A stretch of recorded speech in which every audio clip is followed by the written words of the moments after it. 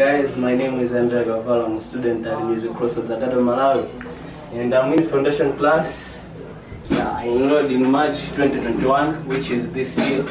So yeah, today I just want to show you something that I've been uh, working on with my teachers and my fellow friends.